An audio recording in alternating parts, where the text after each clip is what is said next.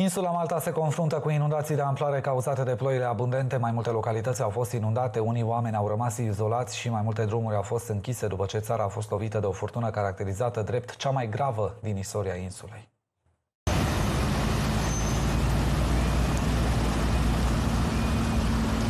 Mai multe zone din Malta au fost acoperite de apă după ce într-o singură zi a fost înregistrat un debit mai mare decât cel al întregii lunii noiembrie. Multe localități au fost acoperite de apă, unele dintre ele aproape în totalitate. Autoritățile au închis mai multe drumuri, însă chiar și așa, unii șoferi tot au pornit la drum doar pentru a fi surprinși de ape. Unii dintre ei au avut nevoie de intervenția serviciilor de urgență.